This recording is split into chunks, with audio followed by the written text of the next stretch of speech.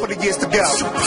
Here we go. As soon as you hear that go, Liverpool to Portsmouth, hear that chorus, the crowd screaming.